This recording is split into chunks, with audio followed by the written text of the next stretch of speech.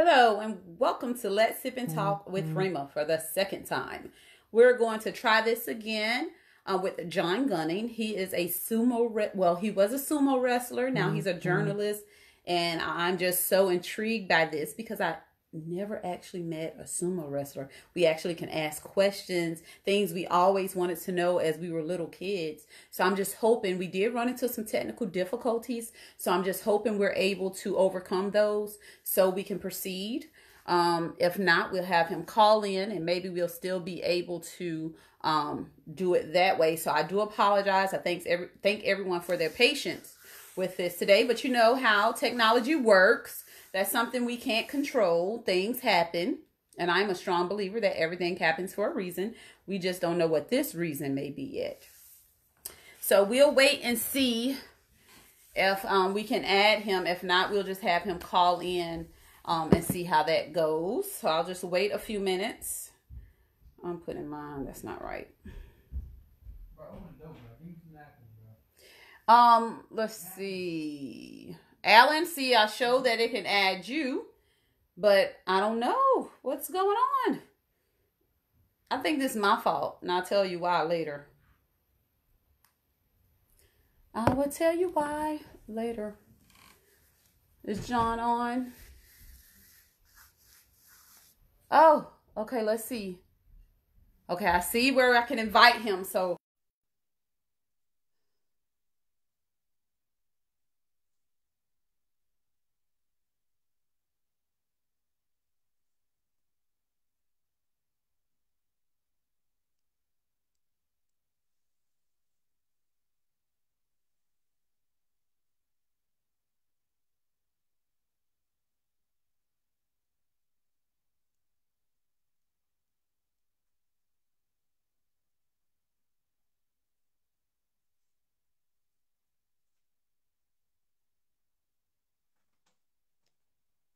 think y'all can hear me. I might can. It still says adding. Um, he's all the way in another time zone, so that could be why it's taking a little while. But um, yeah, it says it's adding him, Alan. So we're just waiting to see what happens. It could be because he's so far, far away. It still says adding, which is a good thing. Ah, it didn't work.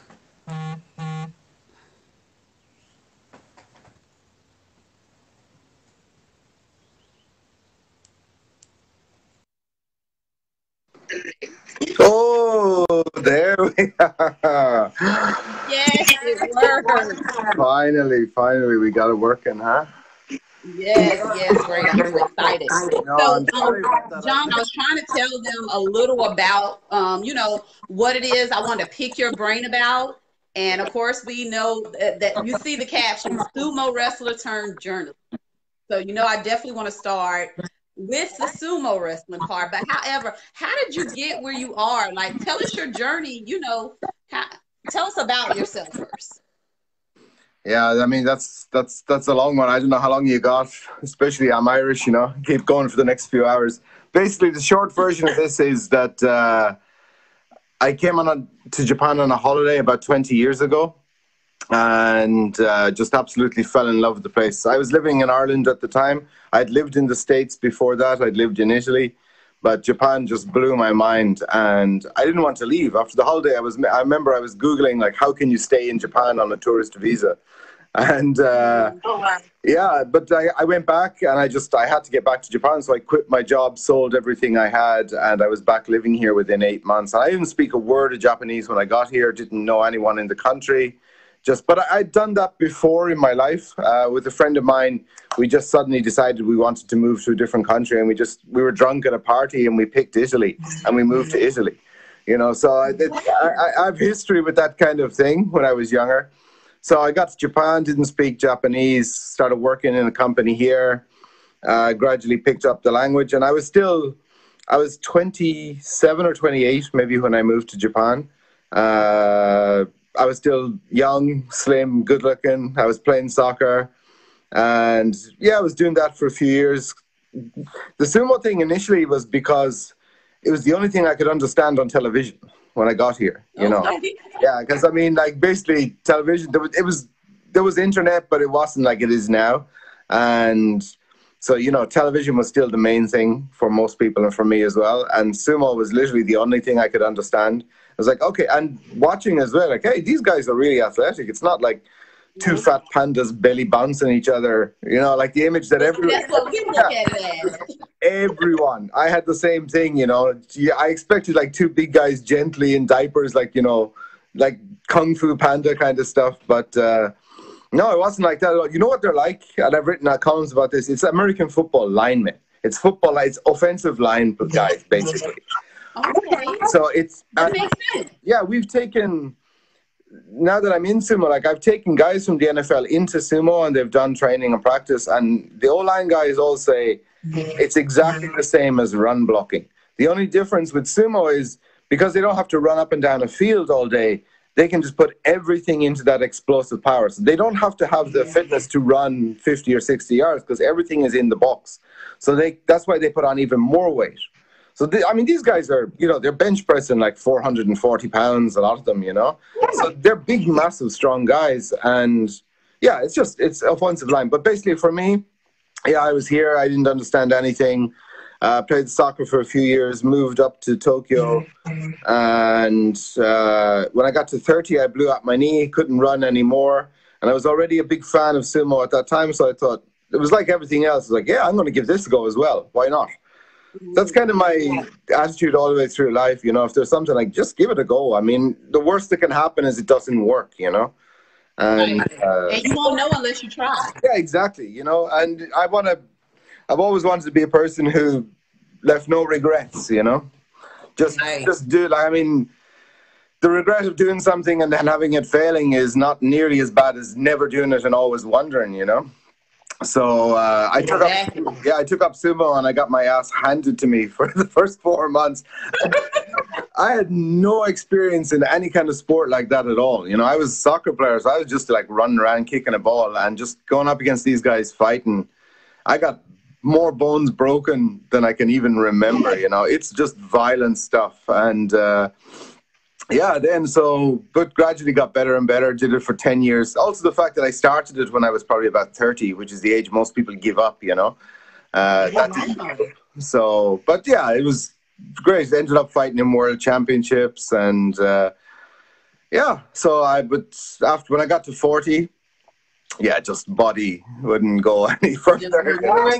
yeah. so did you have to gain weight, John? Did you have to get to a certain weight level to compete? So in the professional ranks, there's there's two types of sumo. There's professional, which is you know because it's so elite, it's like the NFL basically of sumo, and then there's amateur, which is everything else.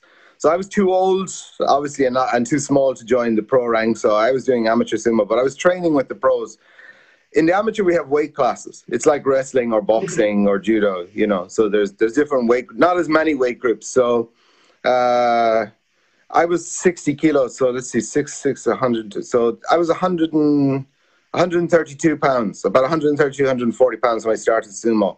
Uh, because i was yeah i was soccer. I was a winger. I was just running all the time. And there are lighter weight classes but the lightest one is yeah it's it's maybe another 20 or 40 pounds heavier than that.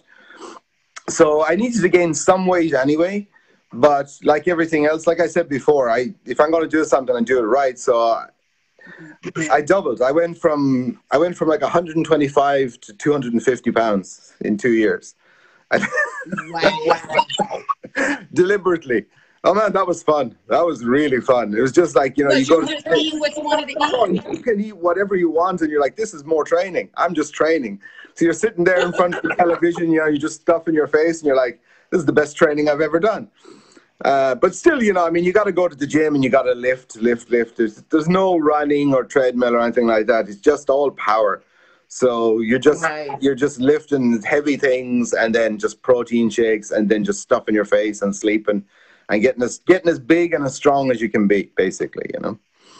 What's so, the heaviest weight you were able to lift? Oh, I can't remember. That's a long time ago. Um, for it's because sumo is almost all about lower body power and you know explosive power. So we do like the the all the other things like the chests and bench press and deadlift and stuff like that. But with the leg ones anyway. I whatever plates were in the gym, I had them all on the machine. you know, Whoa. it's two, it's two collapse. Like I, I was never in. I was never. I had no background in that kind of thing. I was not a a wrestler or a football player or anything like that. So I didn't have any background in that strength thing. I just came from running and soccer and stuff like that. And just to to see your body change over a couple of years and just get stronger and stronger and stronger. Yeah, that was that was really cool. I really liked that. So Wow, so I want to take it back just a little bit. Um, so I remember you said that you know you just decided to like up and move to Italy. So how old were you when you decided to do that? Early twenties. Yeah, that was what age? So I was I was maybe a year or two out of college. Um, Oh wow. so what it was was I'd been in a relationship. It had broken up. I wasn't happy with my job, and I was at a party with a friend of mine, and he was the same. I think he'd broken up with someone too, and the two of us were just sitting there drinking, complaining about life, as you do. And I remember, yeah, we we're just at a house party and we're talking, and I was like, "Oh man, I'm sick of this. I just want to get out of this country and do something different." And he was like, "Yeah, me too." And I said, "Yeah, okay, let's go. So where do we go?" And I said, "Why don't we go to Sweden?" And his, his like this is literally the conversation, right? He was like, "No, Sweden's too cold. Let's go somewhere hot. Let's go to Italy." And I was like, "Yeah, let's go to Italy." So literally, I think it was like three weeks later, we'd sold all our stuff, quit our jobs, just cashed out what we had, and got on a plane, went to Italy. Because if you're Italy? yeah, if you're European, right? So you can work and live in any country you want, right? In in the EU, right? So um, in that way, like being in the EU is like being from different states in the US. Like you can go live in whatever state you want, right? Same for Right. Europe. Europeans can go and if they're part of the EU, they can just go and live and work in any country they want in the EU. So we just got in a plane, arrived in Rome. Uh, no job, no house, no hotel, nothing. And just, yeah, I think we were like 20, 24, 23, 24, something like that. And of course, yeah, we just like spent a week partying and, and then we're like, oh shit, we, we better get jobs, you know? We better get Right. jobs. We better get something to do or we're going to run out of money. So um, nothing was happening in Rome. And then it was like the same kind of conversation. I was like, okay, let's go somewhere else. And I said, let's go to Milan. Let's go up north to Milan. And he was the same. No, nowhere cold. Let's keep going south. So we just got in a play, uh, train and went south. And we got as far as um, Salerno and Amalfi. If, if you Google that place, like the Amalfi Coast, it's like something from a movie. It's just like beautiful Wow. cliffs, crystal blue seas, small little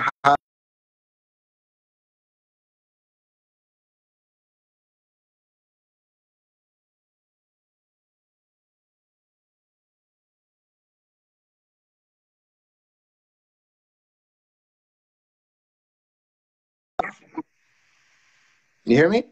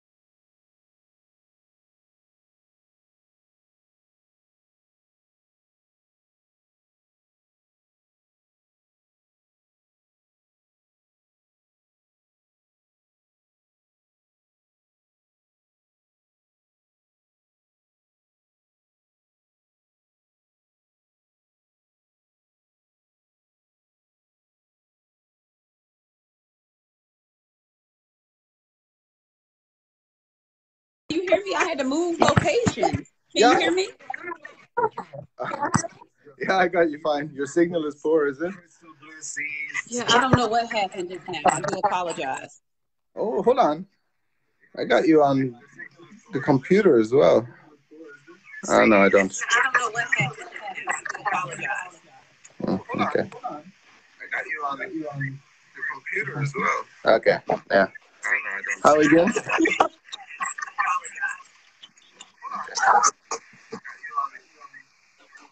Okay. Okay. Yeah. You see me okay? I can hear you now. I can see, but I hear a lot of noise. Yeah. Somebody's got a computer on or something like that. Can you see me okay? I, I can hear an echo somewhere. I don't know where that's coming from. Computer on or something like Oh, well. can hear an echo. Can y'all hear us on the live good, or is it bad connection? Oh, well. Okay, we're good. Yeah. We can just keep talking anyway. I guess there's a delay, but, you know, for us it seems to be. Okay, Yeah. right.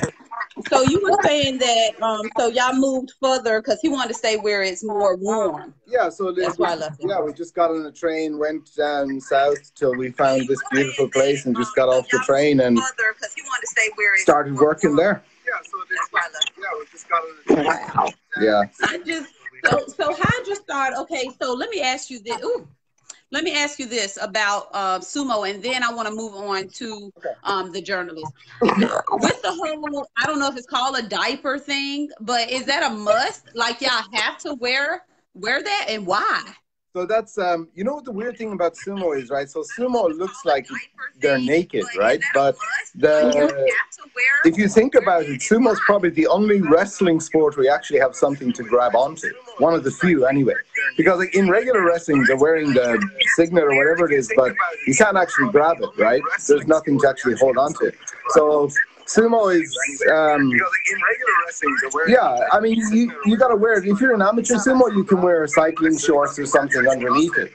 So it's okay. But uh, you need that because basically all the throws and everything are done using the belt. Shorts. Yeah, The echo is like crazy.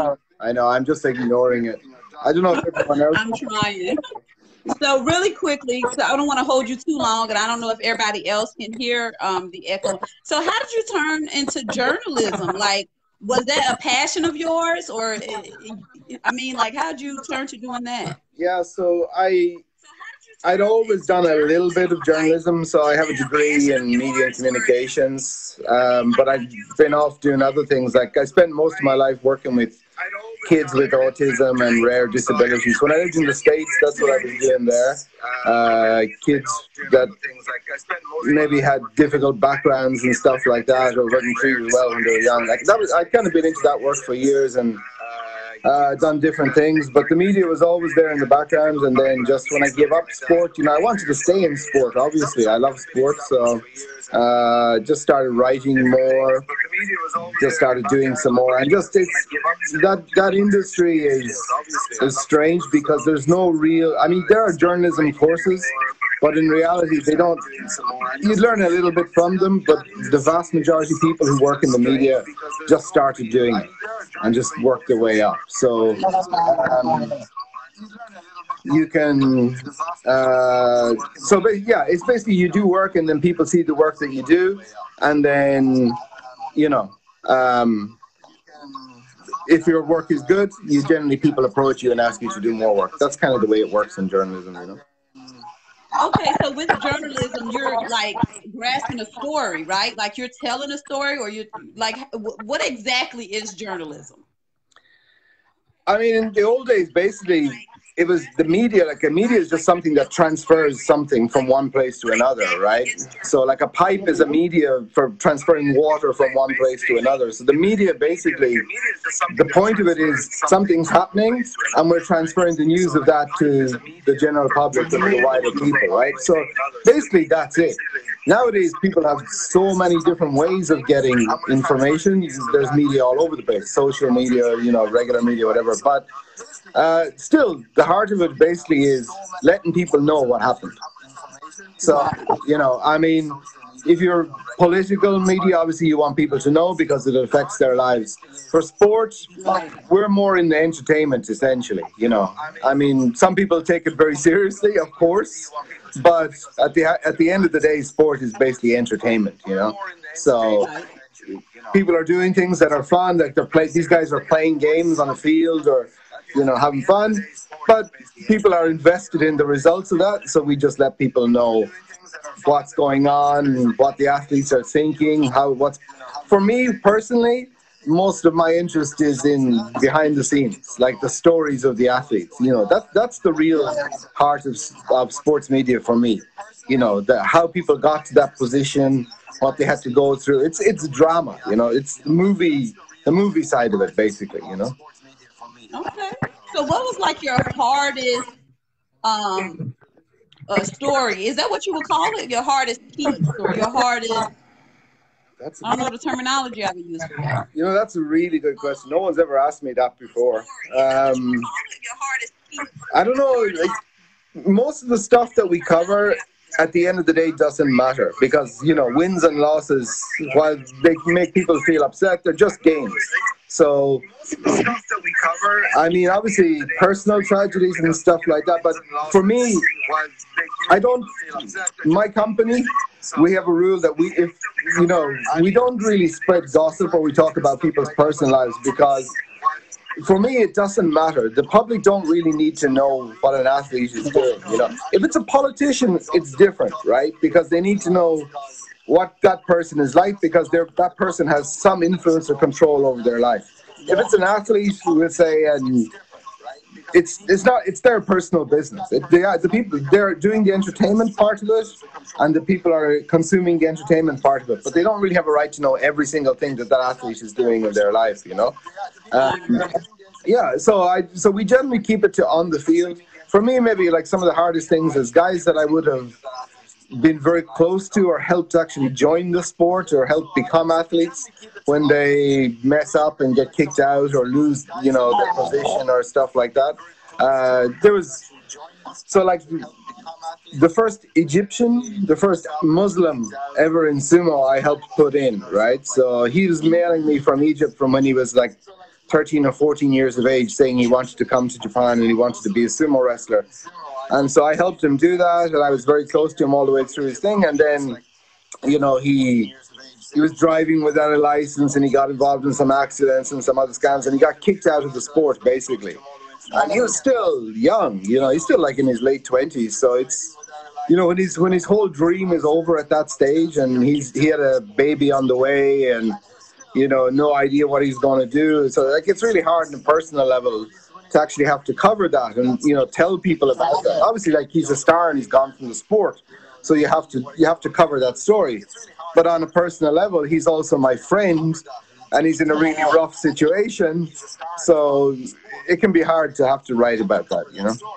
Yeah, I can imagine. Hopefully, he didn't feel betrayed or anything. You having to cur- cover that, you know, that he no, was no, unable no, to continue that no, no. I I'm very open with guys. So my one of my rules is basically I never write anything that I wouldn't say to somebody to their face. Right? So I, if I criticize an athlete or if I write something bad about a team, it's exactly the same thing I would say to any of the athletes on that field or any team member if I met them personally. And that's a rule that we have in this company. If you're going to write something, it has to be something that you'd be willing to say to the person. You can't be hiding behind your keyboard, right? So Right. you got to own things, and we don't put up stuff that doesn't have the names of the person who writes it. If it's that heavy, like if it's a strong critical thing, you got to own it. You got to be the person. If that's what you believe and that's what your thing, then you got to stand by it. Um, so that's kind of a rule with that, you know. And that sounds like that's a way to make all your team, you know, win. Because if you can't say it to someone, you know, in their face, then then why write about it? And that takes a lot of backlash away from you guys, you know. Well, that's Yeah. good. You know, if you're, if you're a sports journalist, basically, athletes are going to be unhappy about everything you write unless you say that they're the greatest ever. you know? So every athlete, to be a professional athlete, needs an awful lot of confidence and dedication and self belief, right? So every, every athlete thinks I'm the man, I'm the, or I'm the woman, I'm the greatest ever, and nobody appreciates me. So anything that they see written that doesn't follow that story, like they're never going to be happy with it. So I get an awful lot of abuse and feedback, you know. But I, I'll get into it with people. I say, look, you might think that, but that's not the stats. Or you know, if you have, if you think something is not fairly reported, then let me know. Let's get into it and we talk about it. But um, we're here on the outside and we're looking in. Of course, we don't know everything that's happening inside a team or a locker room. So this is how we see it. If you don't believe, if you think that that's not right, then give us information that shows it's not right. If you want your story out there, but we're entitled to our opinion. And if you had a bad game, I'm entitled to say that I think you had a bad game, whether you like it or not. right. So you know, they, they gotta live with it. You know, they're in, that's their their whole life is basically professional athletes. Their payment comes from fans watching the game, right? So they're they're entertainers. Sometimes they'll have good games and sometimes they'll have bad games, and that's just life, you know. So I mean, but it does, yeah. You get you get a lot of angry emails and messages from athletes all the time, you know. That's part of the, the lifestyle. Well, that's good to know, John. I really appreciate you sharing all this information with us. Um, and the main goal, um, because lately, you know, I've been having individuals come on just telling their story because I want people to know it's more out there than just not saying it's not successful living in the States, but you can always be successful and just your royal and just go out there and do it. And you know, and and you're a prime example. I didn't know you actually just dropped everything and just did it and now you're successful so i need people to know it, it's okay to step out on faith and just do it You know, you you know because like you said i'm a strong believer yeah. everything happens for a reason and if you you won't know unless you ask you won't know unless you try or you're going to beat yourself up not knowing Exactly. You know, you got all these people. I know you had Tyrone on as well, and Tyrone is the same. But like, it's a lot of the athletes, like the football players who play football out here that come from the states. A lot of them didn't even know there was football abroad or the opportunities. But you ask every, single one of them, I don't think you'll ever find anyone who regretted coming here or playing, or even it's the same in Europe. If you go to Europe, the worst that can happen is that you don't play so well, but you still get to live and experience another country and another culture, and you broaden your mind, and you get new experiences, and you learn new things. You know, that's living abroad is the best education you can get.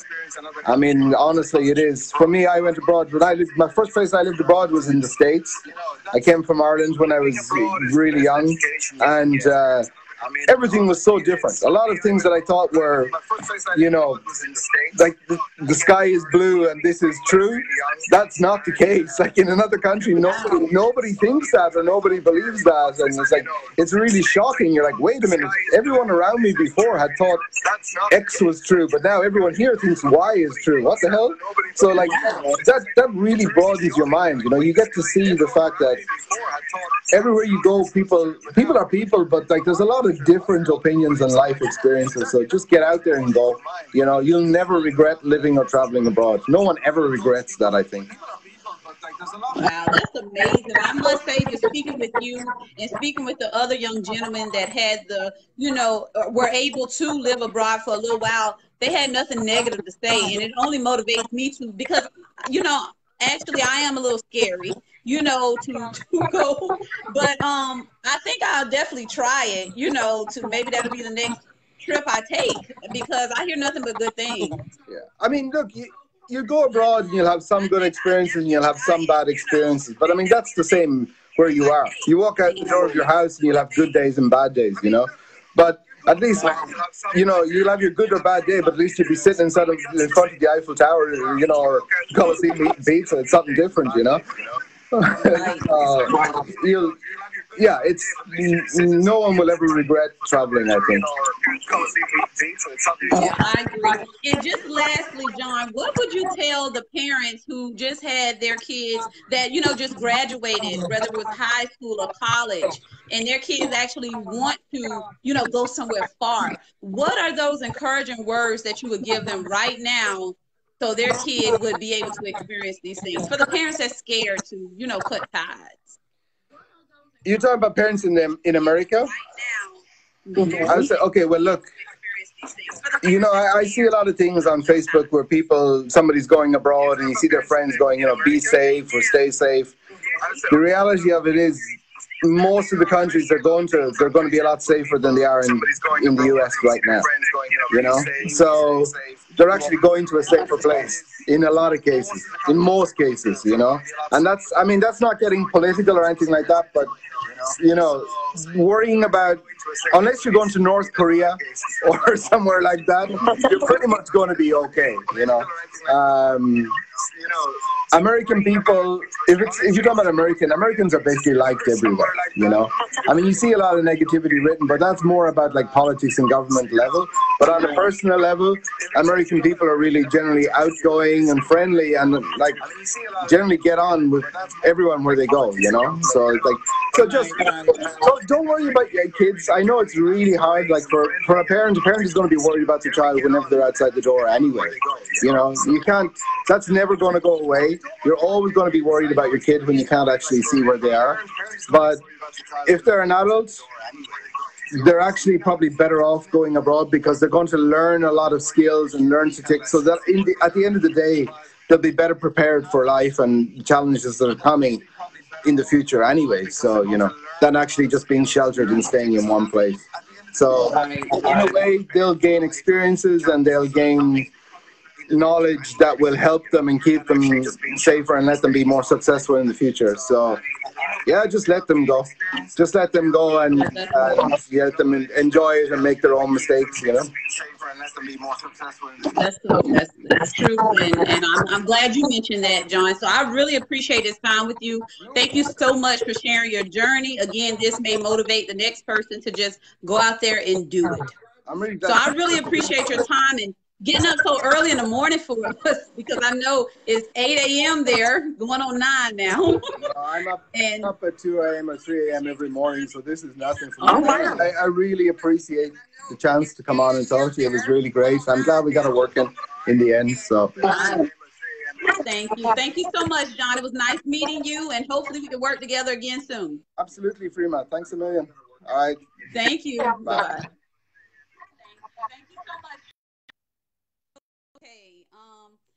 Again, thank you, John, for sharing that with us. Um, parents, uh, again, I, have been, you know, speaking to individuals playing abroad, playing football, the younger generation, you know, just because I know it's a lot going on right now. And I don't want us as parents to be scared to allow our children to go out there and try something different.